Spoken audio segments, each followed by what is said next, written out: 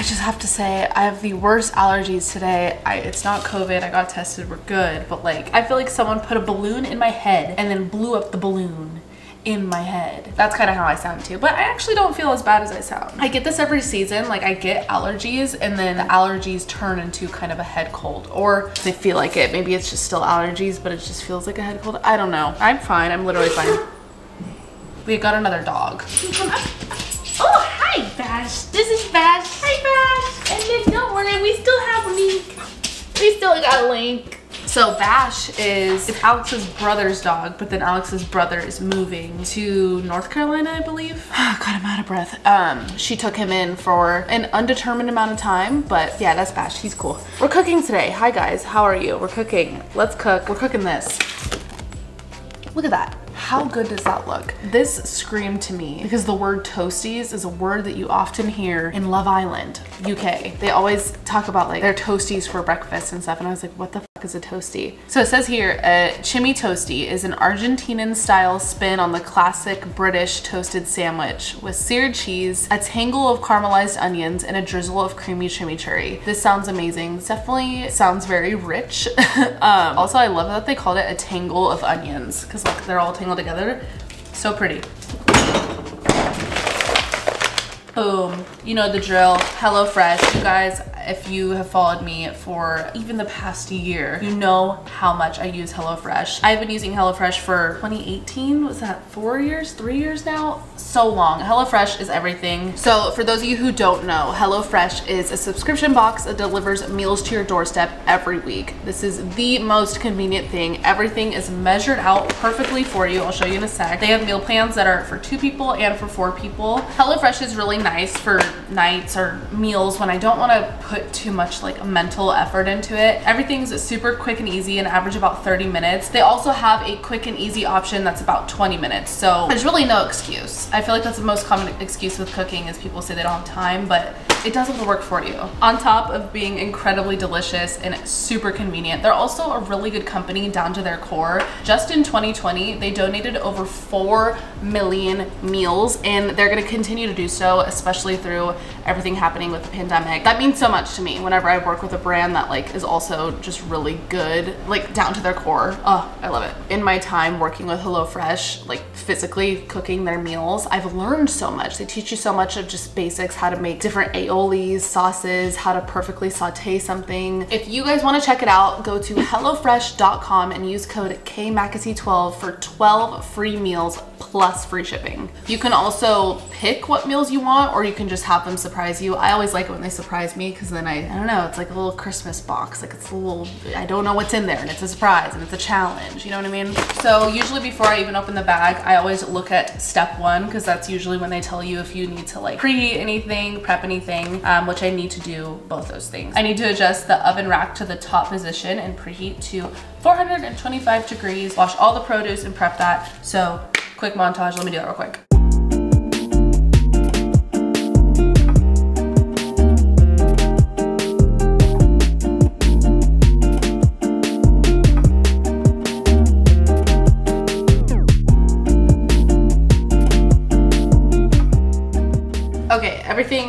Prepped. I have the garlic and the garlic mincer. I just, I don't know how people mince garlic by hand. I mean, I, I do know how, but like, how do you have the patience to do it? I say this in literally every video that I use this. This is my favorite kitchen tool. I think this is like the most useful thing, especially for somebody who eats so much garlic. If you don't know what it is, you'll see how I use it in just a sec, but like, I say it every time. I love it, I love it. Um, everything else is minced. I didn't cry as bad as I thought, considering I'm a little congested. I totally thought it would just be like snot everywhere. Not that bad. These are preps, preps, Oh, yeah, dog. These are prepped. I have to toss them in olive oil and then some of the Southwest spice and roast them for some, some fries. I usually am not a um, potato wedge person. I have this really weird, theory is not the right word, um, phobia? That's a little intense. Just like something towards potato wedges, you guys. I don't know what it is. Growing up, I went on a lot of road trips. So a lot of food where, you know, we'd take a pit stop in front of a Safeway and my mom would be like, all right, like get a deli sandwich, like let's go, we gotta get on the road. She would always get potato wedges from the, the hot food section. It was like their potato wedge fries. And I get very car sick. If I'm not driving, like so car sick, not good. And obviously as a kid, I wasn't driving because I didn't even have my freaking license. So the potato wedges come back in the story because I ate them so much growing up and I also threw them up so much. We'll see how this goes. I hope that story made sense. You see what I mean? Like I was car sick, so I threw up. I don't know. I always get questions where I get these salt and pepper shakers. Um, I think it was just Amazon. I think I just typed in like simple shakers and it was, it was like the first one. Okay, let's pop these in the oven at 425 for about 20 minutes and then start everything else.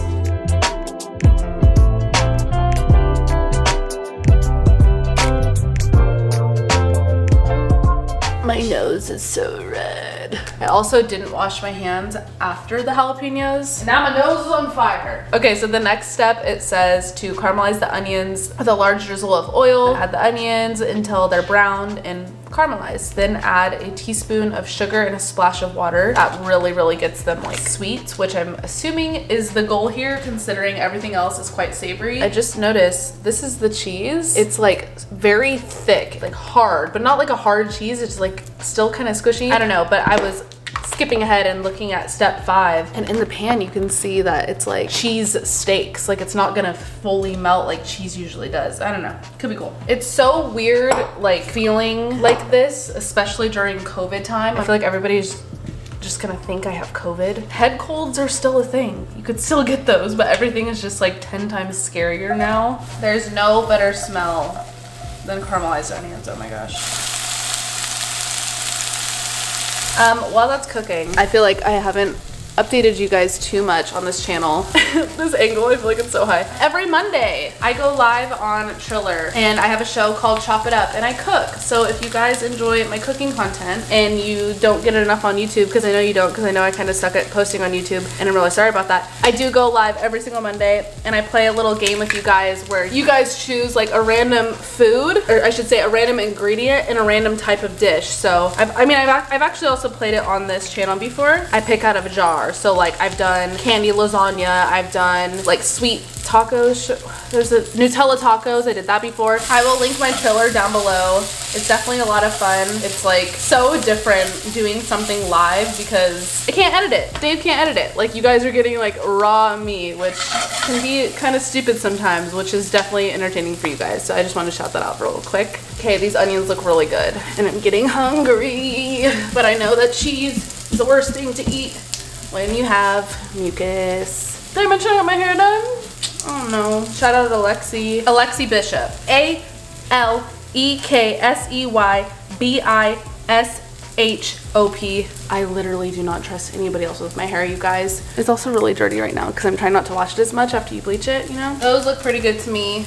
I'm gonna add the sugar now on some low, low, low heat. It says a teaspoon, and I'm gonna estimate that that is a teaspoon. And then a splash of water. Oh yeah. Okay, that's on super, super low heat. Now I'm gonna make the chimichurri and the toast. In a small bowl, combine sour cream, cilantro, lime zest, garlic, lime juice, jalapeno, cumin, olive oil, salt, and pepper. Pro tip, roll out your citrus before you cut it. It breaks up the little enzymes and you get way more juice. I have really weak hands. I swear squeezing stuff is like the hardest thing for me. Oh my god, I could just eat that in my mouth. I'm gonna get these out of the pan and I'm gonna do the cheese. I always love using the same pan when cooking like a cohesive meal because then all the flavors just like are stuck to the bottom of the pan and so many people wipe that out. I'm like, no, it's the best part. Hold on, blow my nose break.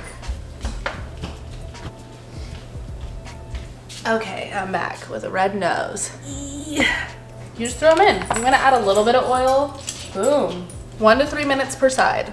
Oh, look at those. You hear that? They're singing. Oh my god, my stove wasn't on. These are potato buns, which I'm such a big fan of. I think potato buns are so underrated. Roast those bad boys. Literally for like three minutes, super quick.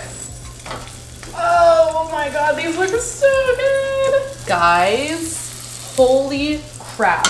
Okay, these are done. Holy shit, this looks so good. Let's assemble. Divide the bun, fill with the onions, then the cheese. God, Alex is going to love this. She is obsessed with cheese, you guys.